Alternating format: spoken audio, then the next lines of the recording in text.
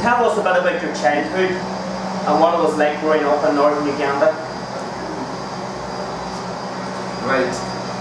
Yeah, I was born in northern Uganda. Uh, district called Otuke. But uh, I don't know much about my childhood because I grew up with my parents. And when I, when I was about three years old, I just realized that we were living in the camp. So I don't know much about. That is just the one I can tell you. Yes. So when you say camp, what, what sort of camp was it? You know, we were in a camp. That camp was the. It was brought about.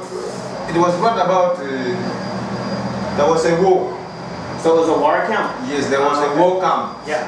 whereby uh, LRA rebels, which was lead, the the war was led by Joseph Kony. Uh-huh. Uh, that uh, Joseph Kony is known worldwide. Yes. Yeah.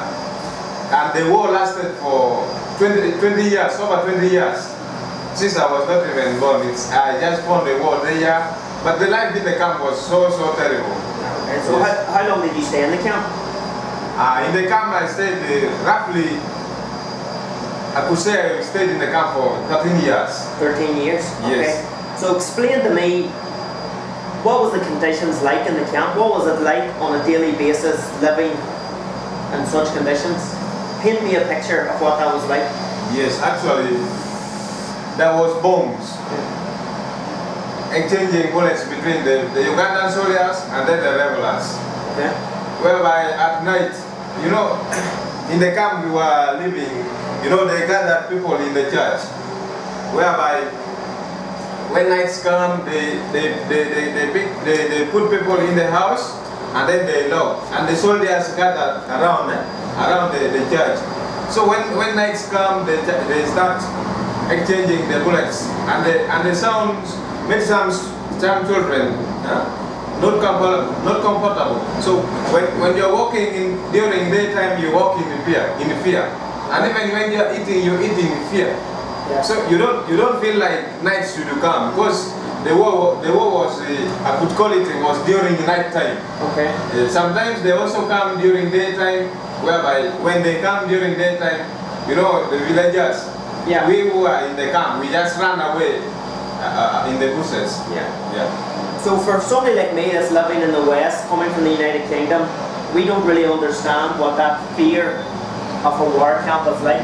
So tell the people back home, or paint them a picture of what that fear was like. What is it like to live in fear on a daily basis? Yes.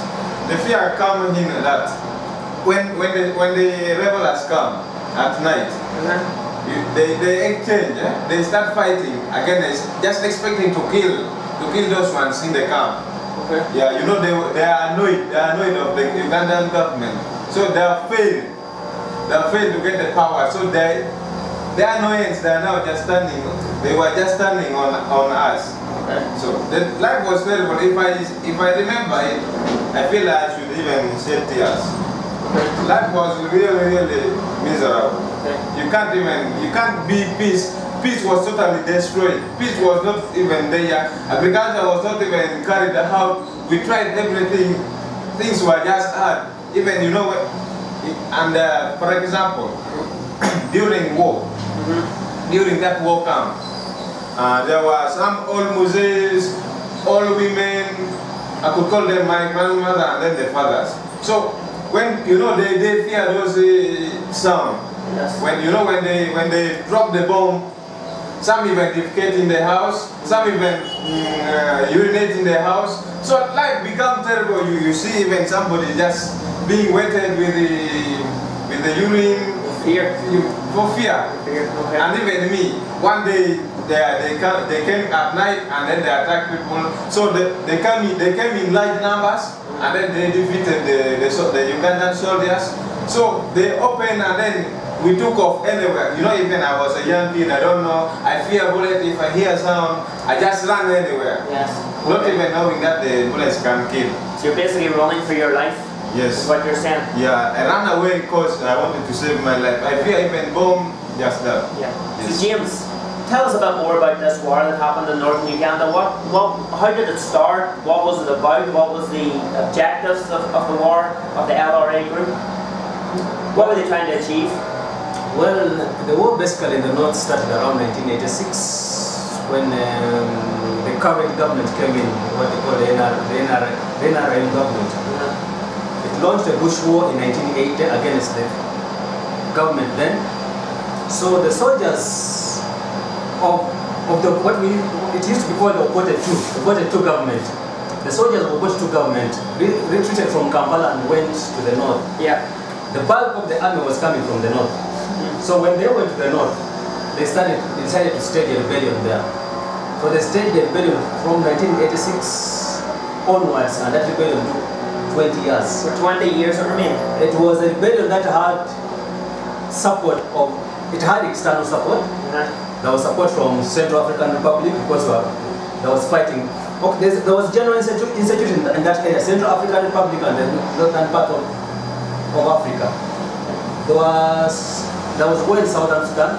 So when this defeated army went to the north, they decided to form an alliance with the army in Sudan, Southern Sudan. So there was always that incursion from Southern Sudan to Northern Uganda, and it was a difficult war. It turned out more of a terrorist war because there was no clear objectives. Right. You, you'd imagine that these people would, would want to fight territory, but they would not go beyond their own territory.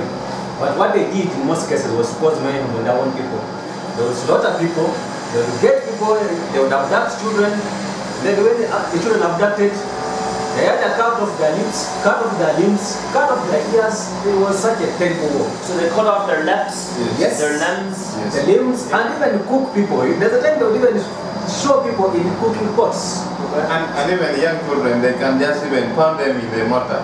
Okay. Just pounding young children, you know. So it was Very a senseless war. Yes. Senseless is a good word. A Yes. senseless war with no clear objective. no clear objectives, fought for 20 years, and that's why when he's talking about the camp life, the camp life was basically created to, to, to pave space for fighting. You know, when people are fighting, or like when the elephants are fighting, it's the grass to suffer. So, this, they, they saw what, he, what Moses calls the villagers, or the community in, the north, had a lot to see. Yes. Experienced a lot. The, the camp life was not easy in itself. They abducted because schools had to close, hospitals had, all social structures had to close. There was time I think when, a very popular story was about the Aboke girls, where these guys came and took off, took the girls from a boarding school. I think up to this day, these girls, some of these girls are still in the bush. Yes. So it was, it is something very difficult to explain, especially for some of us who are not from the north, but Yes. it affected us economically because the country was at war for 20 years. Yes. Yes. Okay, so the likes of Moses then that you lived in the north, you grew up in these conditions of war. How did you come about? Actually, we'll just stop there. We'll.